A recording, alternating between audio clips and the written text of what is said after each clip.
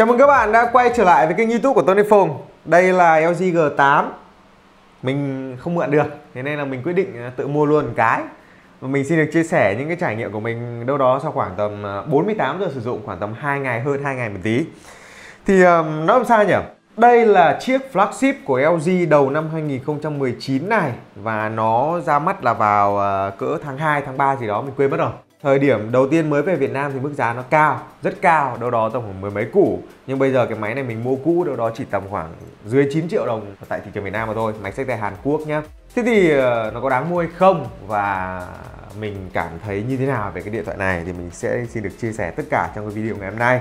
Và bởi vì ờ, cái máy này là mình bỏ tiền ra mình mua thế nên mình sẽ chia sẻ cảm nhận của một người dùng bình thường thôi chứ không có cái vấn đề gì PR cho bên nào bán bên nào bán bên kia bán các thứ gì này nọ nhá. Mà mình PR cho Hoàng Hà Mobile đấy là họ cũng đã bán trở lại những sản phẩm của Huawei với một mức giá cực kỳ ngon.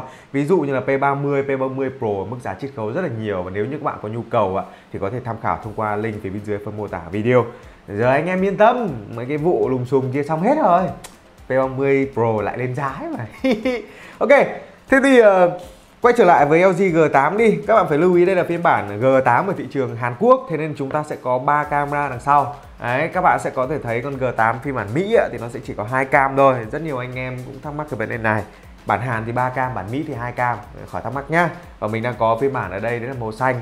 À, Bên ngoài thì nó là màu xanh lá cây Nhưng không hiểu sao lên trên cái máy quay này của mình nó sang kiểu xanh da trời. Ừ. màu sắc này nó nghiêng mỗi góc nó ra những kiểu khác nhau nên đây cũng là một cái thứ gì đấy nó khá là thú vị là lạ một tí. Đấy, không sao. Rồi quay trở lại với phía mặt trước.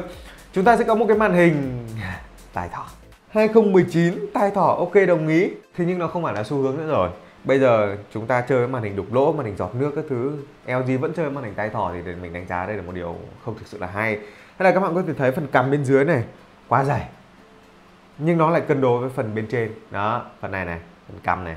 À, đây là phần chán này phần cằm này cân cân với nhau. Và nhìn ở phía mặt trước này cho dù bật tay thỏ hay tắt tay thỏ thì mình cảm thấy nó vẫn ok trong vấn đề trải nghiệm. Thế nhưng mình không thích tay thỏ là cái điều mà rõ ràng luôn chúng ta phải bàn với nhau. Và cái phần viền hai bên này nó được làm cong nhẹ nhưng nó dày. Thực sự là dày. Dày tương tự như kiểu là con iPhone 10R ấy. Thì đó là cái đầu tiên mình cảm thấy không hài lòng về phía mặt trước cho lắm. Quay về phía mặt lưng đằng sau so à, phẳng đẹp thích mặt lưng kính cường lực. Đó, rất đầm tay cầm nó không kiểu quá bị mỏng manh cầm trong tay rất là sướng.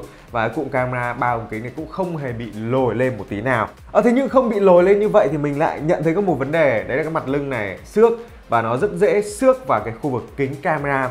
Ví dụ như là Oppo Reno Oppo Reno Zoom 10X chúng ta sẽ có một cái G nhỏ thì nó sẽ khiến cho cái phần cụm camera này nó không bị tiếp xúc trực tiếp vào cái mặt bằng phẳng như vậy. Nên cái hiện tượng xước nó sẽ bị ít hơn trong cái đó G8 thì nó phẳng hoàn toàn. Và cái máy này của mình thì cũng đã dính một vài vết xước sau chỉ đơn giản có vài ngày mình sử dụng thôi. Thế nên là mình cũng không thực sự hài lòng cho lắm về cái phía mặt lưng kiểu như vậy. Nó phẳng như thế này thì đặt lên mặt bàn cũng ok. Đấy. nó không có bị bập bênh gì cả. Thế nhưng mà nó lại xước thì lời khuyên của mình đấy là nên dán da và có lẽ mình sẽ order một miếng dán ở bên David để mình dán vào chắc lúc này những cái vấn đề liên quan đến camera nó sẽ được giải quyết và chúng ta sẽ có một cái trải nghiệm ngon hơn. Và có một cái thứ khác nữa đây là cái cụm cảm biến vân tay này. Nó được sơn một cái màu đây là màu xanh ờ, đồng bộ với màu bên ngoài, nhưng cái nước sơn này rất là tệ. Đấy, mình đã bị chóc hai vết nho nhỏ và càng ngày nó có cảm giác nó càng bị lan ra nhanh hơn. Và điều này nó liên quan đến vấn đề gia công. Giá như mà LG làm cái phần này tốt hơn thì mình nghĩ sẽ ok. Nhưng mà mình mong rằng nhiều anh em khác sẽ không bị cái hiện tượng này giống như mình chứ bị nhìn cứ như kiểu một cái đốm đốm gì phía mặt lưng nhìn rất là khó chịu thực sự rất là bực luôn. Còn nói về cảm giác cầm nắm sử dụng thì mình thích à, nó không quá mỏng. Cái khung viền kim loại của máy nó làm rất là cân đối nó không quá mỏng nó cũng không đến mức quá dày. Và khi cầm trên tay cảm giác rất là đầm sử dụng thì rất là ok. Nói chung về mặt cầm nắm sử dụng trải nghiệm thì mình thích cái cầm nắm dùng con G8 này. Nhưng chỉ có điều là hiệu thị giác rồi ở năm 2019 nó làm một vài thứ như thế thì mình thấy nó hơi tiếc mà thôi. Rồi nói về những cái thứ tích cực hơn đi như nãy giờ chê hơi nhiều thì đó là cái màn hình này rất đẹp. Trời ơi, màn hình này đẹp đừng hỏi luôn. Nó dùng cái tấm nền POLED độ phân giải đây là 2K cộng. Và thực sự màn hình của LG là một trong những cái màn hình quá đẹp luôn. Mình không có điều gì để phản nàn về cái màn hình này. Trải nghiệm mọi thứ đều rất là sướng. Xem video HDR các thứ phải gọi là best lời nhẹ rất ngon. Nói chung là một trong những cái màn hình đẹp nhất mà mình từng được trải nghiệm đầu năm 2019 này. Và một cái điểm cộng nữa mình rất là thích, đó chính là cái âm thanh của cái máy này nó sẽ có một cái chế độ gọi là DTS 3D Surround. Và các bạn có thể tùy chỉnh một vài những cái kiểu âm thanh ví dụ rộng này âm thanh vòm hay từ bên này sang bên kia để giúp chúng ta tái tạo cái hiệu ứng 3D bạn nào mà chơi game á, thì dùng cái này phê lắm. Đặc biệt là bắn PUBG định hướng thích đường hỏi luôn. Này xem phim nó tạo hiệu ứng âm thanh vòm cũng rất là ngon. Nói chung là lo ngoài của G8 thì là ok. À, chúng ta sẽ có một cái tính năng riêng nó gọi là Hi-Fi Quad DAC bạn nào mà có những cái tai nghe chất lượng cao á, theo rắc cắm tai nghe 3,5mm thì cắm ở đây.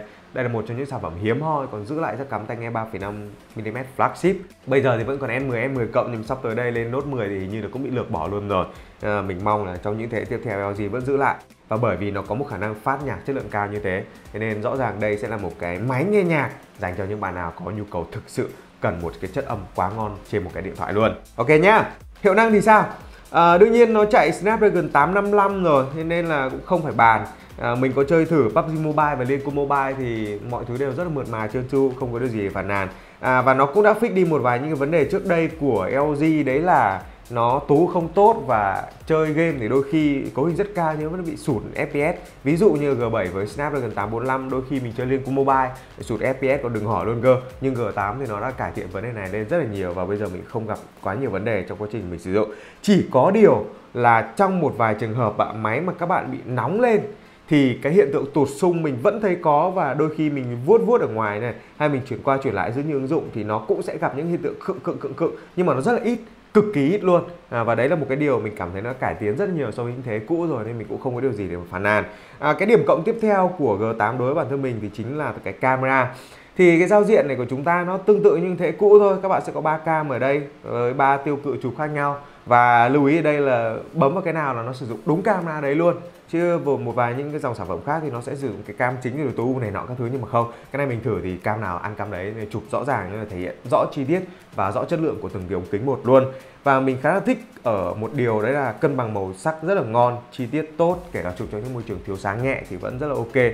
Và khi mà chúng ta bật cái tính năng gọi là AI cam này lên này thì nó sẽ tự động điều chỉnh xem là cái môi trường các bạn đang chụp là gì thì nó cũng kiểu như AI camera nhiều hãng khác thôi. Nhưng mà được cái là màu sắc nó nó nó không quá kiểu đẩy tông rực rỡ giống như Huawei hay là không quá kiểu màu mè các thứ gì đấy giống như Samsung, mà nó vẫn khiến cho các bạn cảm thấy một bức hình đúng màu sắc, chi tiết ngon.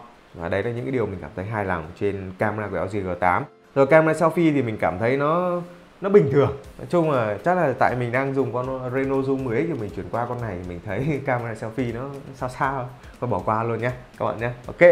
À, ba nghìn rưỡi là dung lượng pin của LG G8 ban đầu thì mình nghĩ nó chỉ bình thường thôi nhưng mà mình phải hơi bất ngờ một điều đấy là dùng nó ngon đáp ứng thoải mái cái nhu cầu của mình trong một ngày với on screen đâu đó tầm khoảng 4 tiếng rưỡi 5 tiếng gì đấy.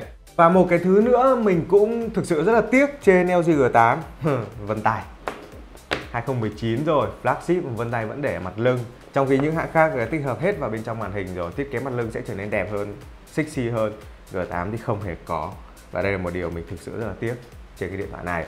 Nên là nói chung ạ, với bản thân mình đánh giá thì nếu như đánh giá đây là một cái flagship thì nó không có một cái điều gì quá nhiều để mà so sánh với những Huawei P30 Pro, so sánh với S10 cộng hay so sánh thậm chí với cả iPhone 10s Max ra mắt hồi cuối năm 2018 bởi vì thiết kế nó không đẹp bằng, sử dụng nó không trau chuốt bằng hay camera nó cũng không có ấn tượng gì bằng hay hiệu năng thì nó cũng không có quá nhiều thứ nổi bật. Bên cạnh đó thì LG UI này thì mình thấy nó cũng bình thường hay là có lẽ là bởi vì mình không có cảm tình nên mình thấy nó cũng bình thường sao nói chung là cảm thấy mình cảm thấy là LG nó nó có rất là nhiều từ thua thiệt so với những cái tên kia.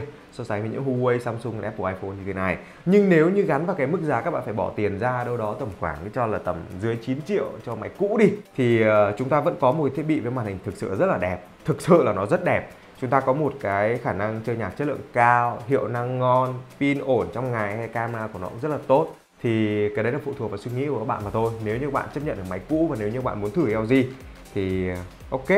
Tuy nhiên thì các bạn sẽ phải chấp nhận một vài thứ, ví dụ viền dày, thiết kế thì không được đẹp, cái vân tay vẫn cái mặt lưng, camera thì dễ xước.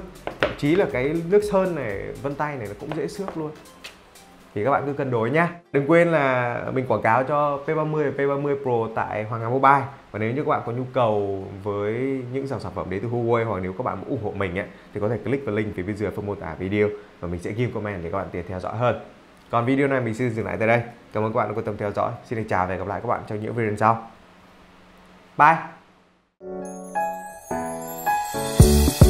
Bye!